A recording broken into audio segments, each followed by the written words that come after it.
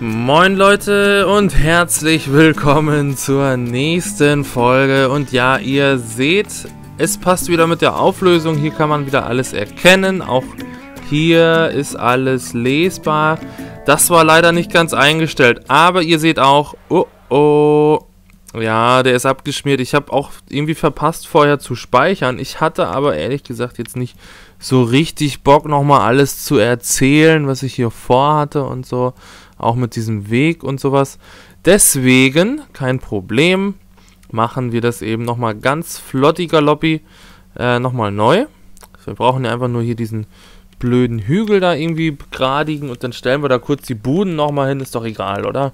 Ich hatte nur wirklich überhaupt keine Lust, das jetzt nochmal alles neu, äh, neu zu machen. So, machen wir mal so.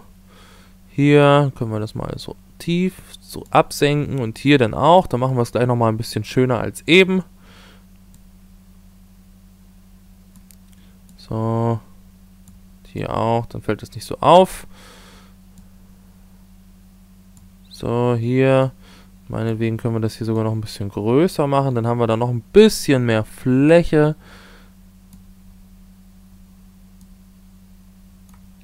So. Können wir dann auch den ein bisschen hochziehen. Ja, das ist doch egal, wie das dann aussieht. Ist doch alles okay.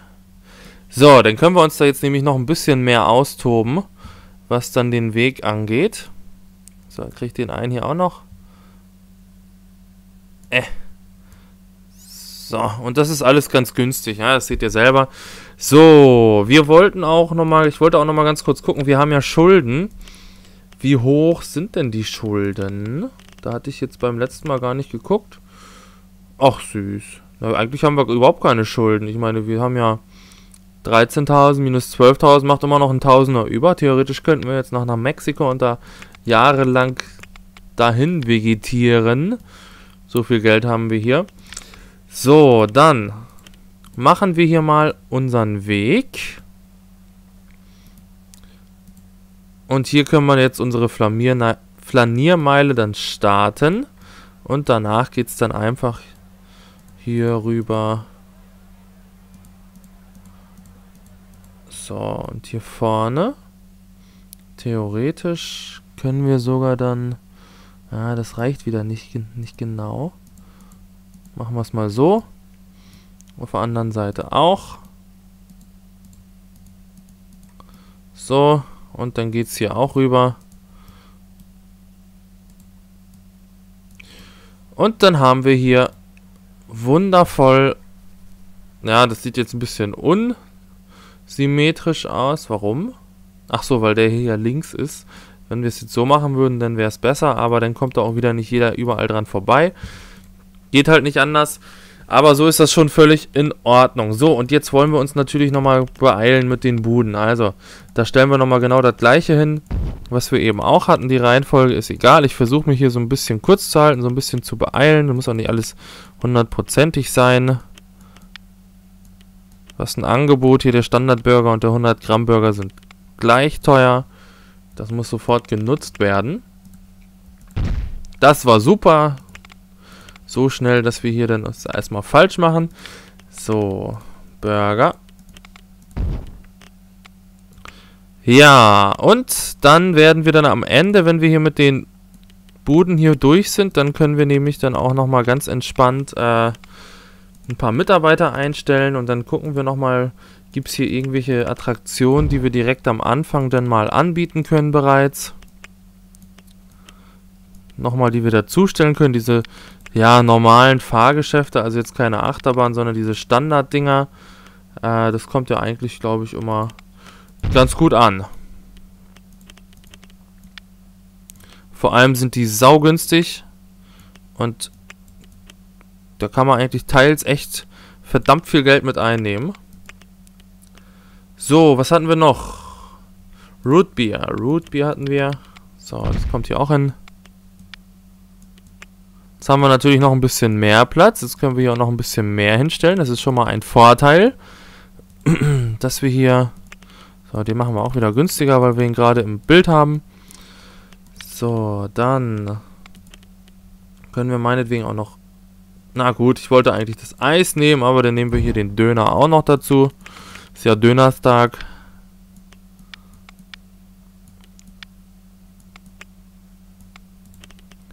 So. Dann jetzt aber auch noch Eis. Eine Kugel. Boah, das ist echt nicht billig. Das ist ja eine tolle Auswahl. Vanille und Schoko, ja, herrlich. Da würde ich ja ein zu viel kriegen, wenn ich nur zwei Kugeln auswählen darf. So, was gibt's denn noch Schönes? Pommes hatten wir, glaube ich, beim letzten Mal auch noch. So, das nehmen wir auch noch mal mit rein. So. So. So, Ballons hatten wir. Und zwar in Rot. Und das hier alles so gleich, halbwegs gleich machen wie beim letzten Mal.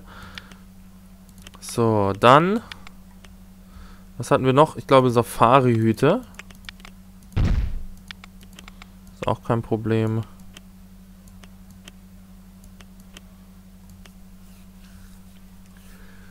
So. Hier vorne können wir schon mal... Äh, oder warte mal. Ja doch, wir können hier nochmal die Geldautomaten hinpflanzen. Guck mal hier, und so schnell waren wir. So, hier. Und dann nochmal eben kurz Erste Hilfe. So. Ach, Toiletten hatten wir. Da sollte eigentlich die Toilette hin, aber ist ja auch wurscht. Hier kommt die dann hier hin. Und die Toiletten hier. ja, ist ja auch egal, hä? Macht ja jetzt nichts. Können wir hier sogar noch so ein bisschen, zack, das einmal so rumbauen. Dann können die Leute da ordentlich, vernünftig rumgehen. Und dann machen wir hier meinetwegen auch nochmal Erste Hilfe, ist doch egal. So teuer sind die ja auch nicht.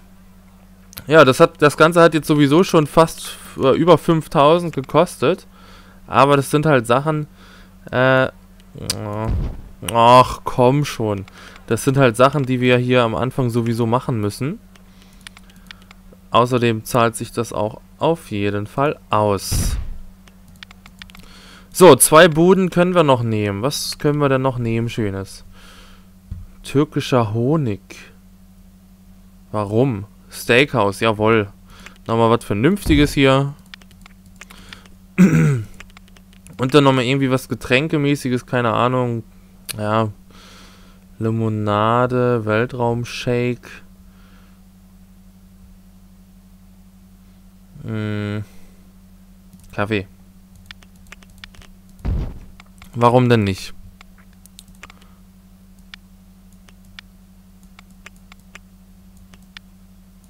So, wunderbar. Gut. Ja, dann brauchen wir natürlich auch ein paar Mitarbeiter. Sind das schon Gäste? Tatsächlich.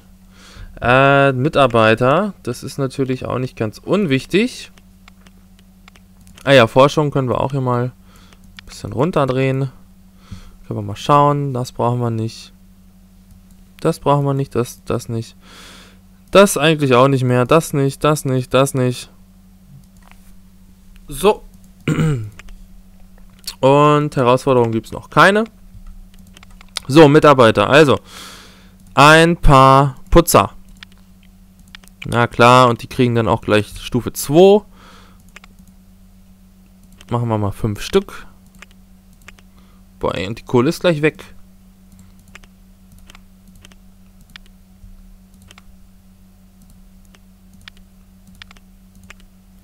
So, und dann einen hier vorne noch. Der bekommt dann die dankbare Aufgabe, hier die Wege dann alle zu machen. Ach, scheiße, und wir brauchen ja eigentlich auch noch Mülltonnen und Bänke und so ein Blödsinn. So. Und dann meinetwegen auch noch hier, hier und hier. So. So, alles gut. So. Dann haben wir die. Dann können wir auf jeden Fall, im Prinzip würde derzeit nur einer reichen, aber wir nehmen auch direkt zwei von den Mechanikern. So. Und das reicht dann eigentlich auch. Gut. Dann haben wir das erstmal. Boah, diese Viecher machen mich echt krank, ey. Können wir die nicht wegmachen? Ohne Scheiße. Die sind so hässlich. Außerdem geben die noch ein paar Tausender. So, tschüss. Auch dieses dämliche Insektenhaus, da wird keine... Boah, ey, wie viele... Da wird keine Sau reingehen. Oh je. So, jetzt sieht es auch schon irgendwie freundlicher aus. Ohne Scheiß. Gut. So, wir sind aber noch nicht ganz fertig. Wir wollen noch ein paar erste Attraktionen bauen. Oha, und da gucken wir einfach mal, also was wir hier so haben. Und das erste, was hier ins Auge fällt, ist ein Bewegungssimulator. Die sind immer ziemlich cool. Roboterarm haben wir, Roboterarm, Roboterarm haben wir auch. Und beim Roboterarm kann man theoretisch sogar zwei nebeneinander stellen, denn es dauert wirklich saumäßig lang eine so eine Fahrt und die sind immer voll. Da stehen immer welche an und wir könnten die auch noch viel teurer machen.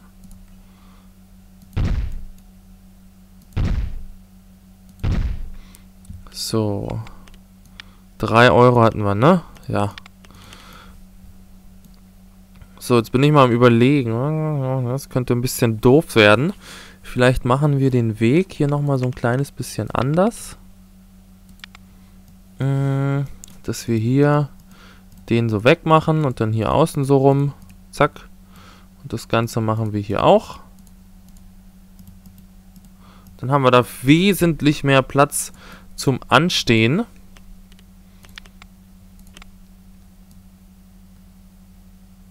Ja, perfekt. Jawohl. Also, das sieht doch schon mal gut aus. Dann haben wir da schon mal zwei so Roboterarme. Ja, das dauert wirklich äh, lange. Oder das ist wirklich, äh, so eine Fahrt ist wirklich extrem lang. Ich weiß nicht, ob wir das hier einstellen können noch. Eine Runde, das ist dann schon auch nur eine Runde. Also, das geht schon so in Ordnung. So, dann wollen wir noch mal weiterschauen. Donnerbobs. Mhm. Doppelte Überkopfschwingbahn ist auch immer in Ordnung. Kann man auch immer gut hinstellen. So, da lassen wir den Preis auch erstmal so. Wollen ja hier niemanden verschrecken. Hä? Und auch da passt das wunderbar mit dem Anstellbereich. So, und dann wollen wir auch noch einen weitere noch dazu stellen. Da hatte ich mir schon eine ausgesucht. Das ist Enterprise. Passt hier auch noch wunderbar hin. So, wird auch so bei genau 2 Euro liegen. Perfekt. Und auch hier können wir dann... Scheiße. Kann man das irgendwie noch anders regeln? Ach so. Ist doch... Nee, wir haben... Irgendwie hat er den einen Weg nicht gemacht. So, dann ist ja alles gut. Ja. Dann hätten wir uns den... Nee, müssen, müssen wir schon so machen. Okay, das sieht doch erstmal ganz nett aus. Ähm, wir machen erstmal auf Play. Denn so langsam brauchen wir dann auch wieder ein bisschen Geld. Mm, und ich glaube, eine geht noch, ne? Eine geht noch. Hm, Freefall. Fliegender Teppich. Oh ja. Fliegender Teppich ist auch immer sehr, sehr, sehr, sehr, sehr, sehr ertragreich. Können wir hier vorne noch so hinbasteln. Hm.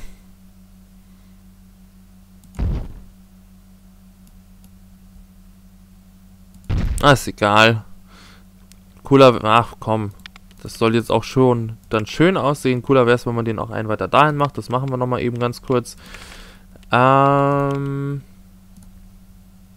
so, hier, dann ist das nämlich alles so schön mit den, mit den Winkeln. Das ist dann überhaupt keine Platzverschwendung, weil wir haben überhaupt ganz wenig Platz hier nur. Ah, Okay, ich nehme es zurück. Wobei, kriegen wir das hier irgendwie hin?